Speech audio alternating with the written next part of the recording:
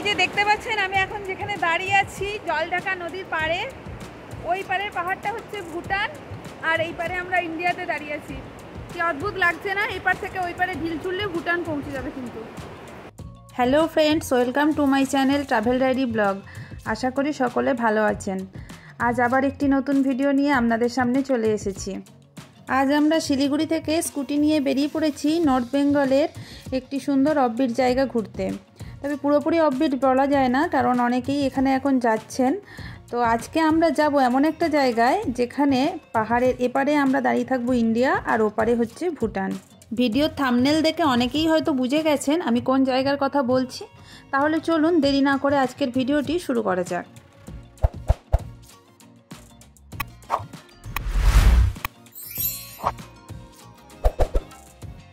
আজ আমরা যাব কালিম্পং ডিস্ট্রিক্টের একটি সুন্দর গ্রাম যেটির নাম হলো ঝালং।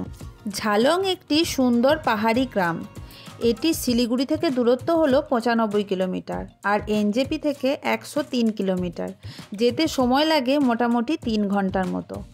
আর আপনারা যদি নিউমাল জংশনে নেমে ওখান থেকে যান, তাহলে ওখানে, ওখান থেকে বিয়াল্লিশ কিলোমিটার মতো দূরত্ব সময় লাগে দেড় ঘণ্টা। যারা কলকাতা বা শিয়ালদা থেকে আসবেন, তারা শিয়ালদা থেকে কাঞ্চনকন্যা এক্সপ্রেস ধরে ডাইরেক্ট নিউমাল জংশনে এসে নামতে পারেন। সেখান থেকে গাড়ি বুকিং করে পৌঁছে যান ঝালং। নিউমাল জংশন থেকে যদি আপনারা ফোর সিটার গাড়ি বুক করে যান, তাহলে খরচ পড়বে মোটামুটি দু হাজার টাকার মতো। আর এনজেপি বা শিলিগুড়ি থেকে গাড়ি বুকিং করে আসলে তিন থেকে সাড়ে তিন হাজার টাকার মতো খরচ পড়বে। আর বড় গাড়ি হলে খরচটা আরেকটু বেশি পড়বে। এছাড়া আপনারা আরেকটা কাজ করতে পারেন। নিউমাল জংশন স্টেশনে নেমে ওখান থেকে ম্যাজিক গাড়িতে বা টোটো ধরে চলে আসুন চালসা। চালসা থেকে শেয়ার গাড়ি ধরে পৌঁছে যেতে পারেন ঝালং।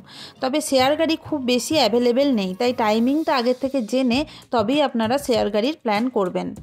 যে হোমস্টেতে আপনারা থাকবেন, সেই হোমস্টেকে জিজ্ঞাসা করলেই ওরা শেয়ার গাড়ির টাইম আপনাদেরকে বলে দেবে। তবে আমরা আজকের ট্যুরটা করতে বেরিয়েছি শিলিগুড়ি থেকে স্কুটি নিয়ে। আপনারা দেখতেই পাচ্ছেন রাস্তার দুপাশের এরকম অসাধারণ ভিউ। এই সমস্ত সৌন্দর্য উপভোগ করতে করতে চড়াই উতরাই পেরিয়ে আমরা এগিয়ে চলেছি আমাদের ডেস্টিনেশনের দিকে। স্কুটিতে প্রায় সাড়ে তিন থেকে চার ঘণ্টার মতো জার্নি করে আমরা আলটিমেটলি এসে পৌঁছে গেছি আমাদের ডেস্টিনেশনের কাছে। আর আমাদের ডেস্টিনেশনে পৌঁছানোর একটু আগেই আমরা এই যে জলঢাকা নদীর একটা সুন্দর ভিউ দেখতে পেলাম, তাই এখানেই দাঁড়ালাম। আর এর পাশেই রয়েছে জলঢাকার হাইড্রো প্রজেক্ট।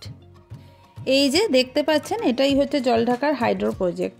এর পাশে রাস্তা দিয়ে আর একটুখানি এগিয়ে যাব আমরা, তাহলেই আমাদের আলটিমেট ডেস্টিনেশনে আমরা পৌঁছে যাব। এই যে আমরা এসে পৌঁছে গেছি। আজ আমরা থাকব ঝালংয়ের আর যে হোমস্টেতে। এই হোমস্টেটির কথা হয়তো অনেকে আগেই শুনেছেন। এটির পজিশন খুবই সুন্দর। আর ভিউ তো মুখে বলার মতো নয়, আপনারা নিজের চোখেই দেখে নিন কত সুন্দর ভিউ। আর এত সুন্দরভাবে এই মানে হোমস্টেটা ডেকোরেশন করা আছে যে দেখলেই একদম মন মুগ্ধ হয়ে যায়। তো আমরাও আজকে রাতটা এখানেই কাটাবো। এই হোমস্টেটা একদম জলঢাকা নদীর ধারেই। আর নদীর ধারেই দেখছেন কত সুন্দর বসার মতো দোলনা করা আছে, জায়গা করা আছে। মানে এখানে আপনারা অনায়াসে সারাটা দিন কাটিয়ে ফেলতে পারবেন। তাই আমরা এখানে থাকারই ডিসিশন নিলাম। ঝালংয়ে থাকার জন্য আপনারা আরও অনেক অপশন পেয়ে যাবেন। এখানে থাকার জন্য আরও অনেক হোমস্টে আছে। তবে এখানে সবচেয়ে পুরনো হোমস্টে জলঢাকা হোমস্টে সেখানেও আপনারা থাকতে পারেন। তবে সেটা একটু উঁচুতে অবস্থিত। এই আর যে হোমস্টেটাই একদম জলঢাকা নদীর গায়ে অবস্থিত। তাই আমরা এই হোমস্টেটাই চুজ করলাম। আর এই যে দেখতে পাচ্ছেন, এখানে বসে বসে আপনারা ভিউ দেখতে পারবেন। এখানে মোট চারটি রুম আছে। তো আমরা যে রুমটা বুক করেছিলাম সেটা হলো এই রুমটা। রুমের ভিতরটাও আপনাদেরকে একটু দেখিয়ে দিচ্ছি ভালো করে, আপনারা দেখে নিন। এখানে এই রুমগুলির মানে ভাড়া পড়েছে per day per head fooding lodging নিয়ে দেড় হাজার টাকা করে। তবে সিজন ওয়াইজ এই রেটটা কিন্তু চেঞ্জ হতে পারে।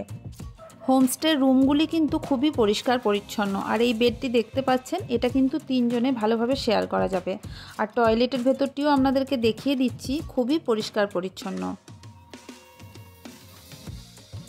এরপরে আপনাদেরকে দেখাচ্ছি আর যে হোমস্টের ডাইনিং স্পেসটি। এটিও খুব সুন্দর। আর ডাইনিং স্পেস থেকেই আপনারা জলঢাকা নদীর একটা সুন্দর ভিউ পেয়ে যাবেন। আমাদের এতক্ষণ জার্নি করে এসে খুবই খিদে পেয়ে গেছিল। তাই আমরা একটু ফ্রেশ হয়েই চলে এলাম এই ডাইনিং স্পেসে আমাদের লাঞ্চ সেরে নিতে। এখানে একটা কথা বলে রাখি, এই আরজে হোমস্টেটি হোমস্টের সাথে সাথে একটি রেস্টুরেন্টও। এখানে সমস্ত রকমের খাবার দাবার পেয়ে যাবেন। তাই আপনারা এখানে যদি থাকতে নাও আসেন, যাতায়াতের পথে মানে অনেকেই বিন্দু ড্যাম তো ঘুরতেই যান, তো যাতায়াতের পথে আপনারা এখানে খাবার দাবারও খেতে পারেন। খাবার দাবার খুবই পরিষ্কার, পরিচ্ছন্ন, সমস্ত রকমের আইটেমও অ্যাভেলেবেল আছে। তবে আমি বলব, হাতে যদি সময় থাকে, তবে অবশ্যই একটা রাত এখানে আপনারা কাটাতে পারেন। খাবার খাওয়া শেষ করেই সিঁড়ি দিয়ে নিচে নেমে চলে এলাম এই দোলনায় দোল খেতে কারণ অনেকক্ষণ থেকেই মন টানছিল যে কখন জলঢাকা নদীর পাড়ের বসে বসে এই দোলনায় দোল খাব এবং সামনে সুন্দর জলঢাকা নদীর সৌন্দর্য উপভোগ করব। আমরা এই হোমস্টেটি এখানে এসেই ইনস্ট্যান্ট বুক করেছিলাম। তবে আপনাদেরকে বলব, আপনারা আগে থেকে বুক করে আসলেই ভালো, কারণ সবসময় কিন্তু রুম অ্যাভেলেবেল পাওয়া যায় না। আমি স্ক্রিনে এই হোমস্টের কন্ট্যাক্ট নাম্বার দিয়ে দিচ্ছি। এছাড়া ডেসক্রিপশন বক্সে আরও কিছু হোমস্টের কন্ট্যাক্ট নাম্বার দিয়ে দেব।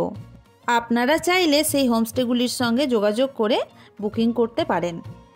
জলঢাকা নদীর পাড়ে দোলনায় দোল খেয়ে এরপর আমরা বেরিয়ে পড়লাম ঝালং গ্রামটি একটু পায়ে হেঁটে ঘুরে দেখতে। এই আরজে হোমস্টের পাশেই রয়েছে রিভার ভিলা হোমস্টে।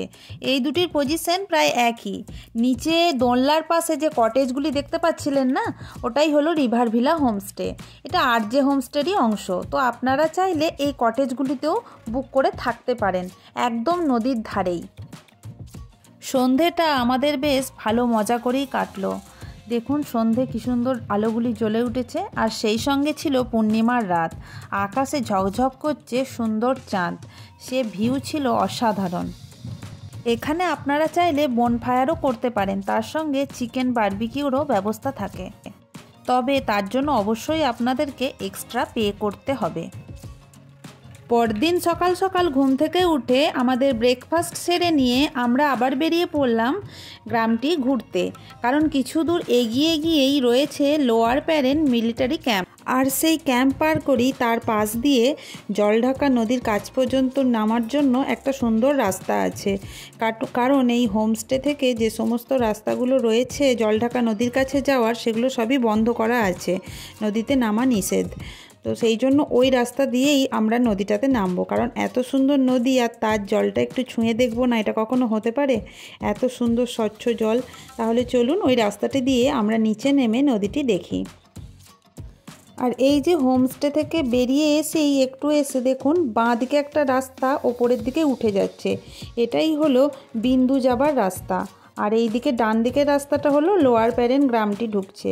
এই ডান দিকের রাস্তাটা দিয়েই গিয়ে আমরা ওই জলঢাকা নদীতে নামবো।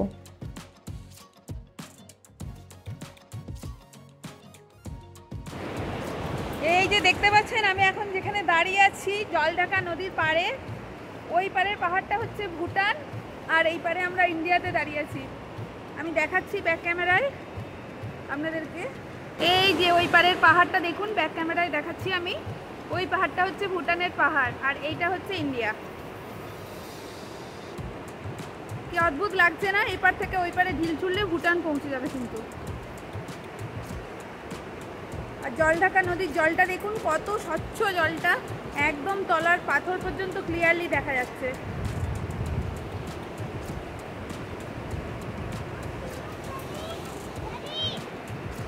চারিপাশের ভিউটা একবার দেখুন, অসাধারণ ভিউ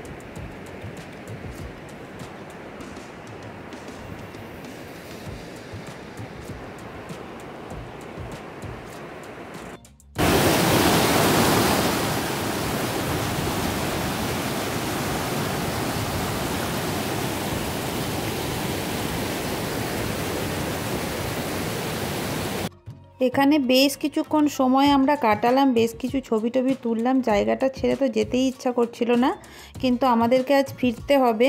নদী থেকে এসে আমরা বিন্দুর দিকের ওই ওপরের রাস্তাটা দিয়ে কিছুটা এলাম, এসে দেখলাম এখানে রয়েছে জলঢাকা হোমস্টে। এটি এখানকার সবচেয়ে পুরনো হোমস্টে। তো এই সব হোমস্টের কন্ট্যাক্ট নম্বরই আমি ডেসক্রিপশন বক্সে দিয়ে দেব। এরপর আমরা আমাদের রুমে ফিরে চলে এলাম, কারণ মন না চাইলেও আমাদেরকে আজকে ফিরতে হবে। তাই আমরা লাগেজপত্র নিয়ে চেক আউট করে বেরিয়ে পড়লাম শিলিগুড়ির উদ্দেশ্যে। চালং থেকে কিছুটা বেরিয়ে এসে সামনেই পড়ল গৌরীবাস ভিউ পয়েন্ট। এখান থেকেও একটা সুন্দর ভিউ পাওয়া যায়। এছাড়া আপনারা এখানে এলে ঘুরে নিতে পারেন Bindu dam, Samsing view point, Laligurans rocky island, Suntalay Khola, এই সমস্ত জায়গাগুলি। এই সমস্ত জায়গাগুলির ভিডিও আমার চ্যানেলে অলরেডি দেয়া আছে, আপনারা চাইলে সেগুলো গিয়ে দেখতে পারেন। এবারের ট্যুরে আমরা আর এই সমস্ত জায়গাগুলি ঘুরলাম না। এবারে আমাদের শুধু আর যে হোমস্টেতে একটা রাত কাটানোই উদ্দেশ্য ছিল, তো সেইভাবেই আমরা কাটিয়ে ফিরে চলে এলাম। দেখুন, আমরা চলে এসে এসে পৌঁছে গেছি চাল চালসাতে। এই যে, এটার হচ্ছে গরুমারা যে জঙ্গল আছে, গরুমারা ফরেস্টের এন্ট্রি গেট তো আমরা আজকে এই গরুমারা জঙ্গলের ভিতরে সুন্দর রাস্তা দিয়ে দুপাশের জঙ্গলের সুন্দর ভিউ উপভোগ করতে করতে বাড়ি ফিরব। তাহলে চলুন এই সুন্দর রাস্তা দিয়ে যেতে যেতে আর সুন্দর স্মৃতি মাথায় রেখে আজকের ভিডিওটা আমি শেষ করছি। ভিডিওটি কেমন লাগল অবশ্যই আমাকে কমেন্ট করে জানাবেন আর ভালো লাগলে অবশ্যই একটি লাইক করবেন এবং বন্ধুদের সঙ্গে শেয়ার করে দেবেন। আর যারা আমার চ্যানেলে নতুন তাদের কাছে রিকোয়েস্ট রইল চ্যানেলটিকে সাবস্ক্রাইব করে আমার পাশে থাকবেন। আর যারা আমার ফেসবুক পেজ থেকে ভিডিওটি দেখছেন, তারা দয়া করে পেজটিকে ফলো করে রাখবেন।